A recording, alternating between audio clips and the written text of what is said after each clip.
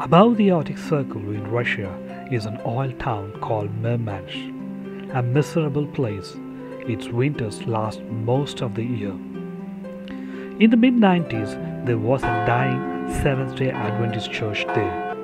They had only eight members the pastor and his wife, and six men who worked in the oil rigs.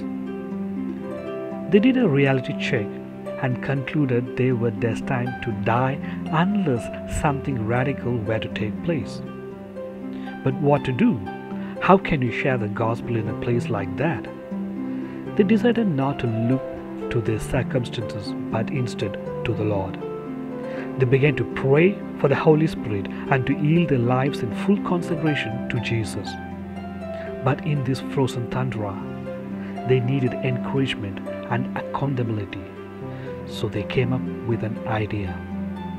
Every icy morning at 6 a.m. in the morning, the seven men met at the Walrus Club, stripped to their shorts, walked onto the frozen lake to a designated fishing hole and submerged themselves in the hole one after another. Then they knelt around the hole, arm on each other's shoulder, and earnestly prayed for the fire of the Holy Spirit to melt their hearts with the love for souls. Why such eccentric behavior, you may wonder? Couldn't they have met in someone's living room by the fire to have prayer? Perhaps this is what most of us would have done, but the men of Murmansk wanted to hold themselves accountable to God.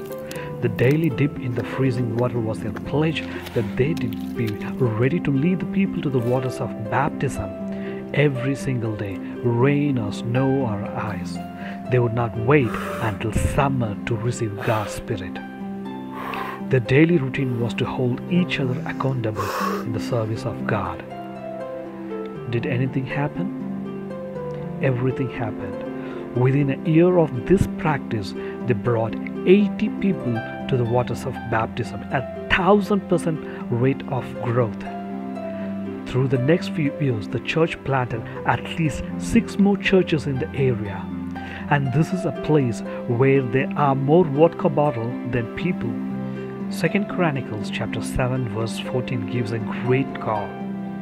If my people, which are called by my name, shall humble themselves and pray and seek my face and turn from their wicked ways, then will I hear from the heaven and will forgive their sin and will heal their land.